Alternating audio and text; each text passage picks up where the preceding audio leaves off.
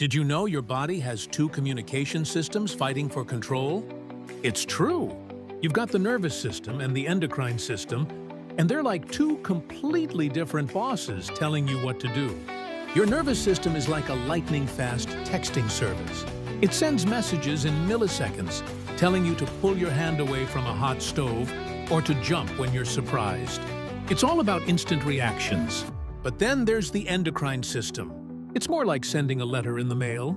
It uses chemical messengers called hormones that travel through your blood. These hormones control your mood, your hunger, your sleep, even who you find attractive.